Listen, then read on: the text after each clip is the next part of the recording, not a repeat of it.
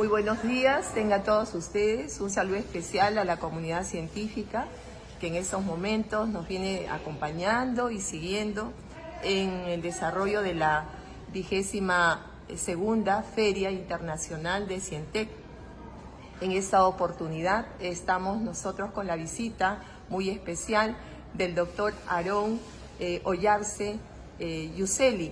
Eh, el doctor es un prestigioso abogado, catedrático universitario, investigador y está, eh, digamos que, categorizado como un investigador especial, especializado, eh, eh, nosotros en esta oportunidad, doctor Ollarse, le queremos dar la bienvenida, ya que viene a ver los previos de la implementación de esta prestigiosa feria que durante 22 años venimos desarrollando. Eh, queremos conocer de parte suya eh, esta impresión que tiene, doctor, acerca y opinión acerca del desarrollo de esta feria, donde se van a desarrollar una mixtura de actividades académicas, donde vamos a estar pues acá con la visita de países hermanos eh, y también visita de miembros de las regiones eh, científicos eh, que van a presentar sus proyectos y que van a tener la oportunidad de partir acá con grandes investigadores, como es el caso suyo, doctor Ollarse. Muchas gracias, muchas gracias a la Universidad Interamericana de Desarrollo. Considero que la investigación es la base eh, de la universidad.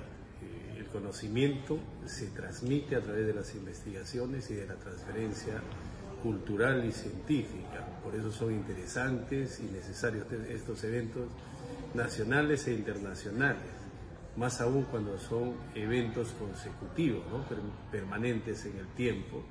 Eso consolida la investigación. Y no solamente la consolida, sino estandariza los procedimientos y las publicaciones. Eh, cabe señalar que eh, además de poseer investigadores dirigidos por docentes universitarios reconocidos, también se permite la participación de, niños, de menores, para que inicien su investigación eh, en algo llamado pandillas. Eh, eso es interesante para motivar desde pequeños a, todos los niños, a la juventud peruana y siempre eh, dando la bienvenida a los extranjeros que vienen con sus trabajos. Esta presentación de proyectos permite medir el avance en investigación de los alumnos peruanos. Y esa transferencia de conocimiento es, necesaria.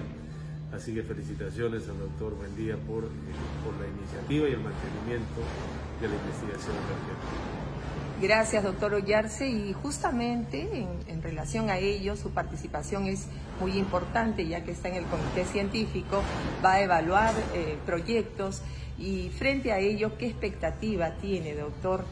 ante la necesidad de nuestro país y del mundo en cuanto a innovación, a ciencia en nuestras eh, generaciones eh, que se están desarrollando y futuras también. Sus expectativas, por favor, doctor Ollaz. Muy bien, los trabajos aplicados, o sea, que tengan un, desarrollo eh, con la comunidad, son, son especiales y son necesarios. Así que todos estos trabajos brindarán una salida, una mejora a cada una de las perspectivas que están proponiendo.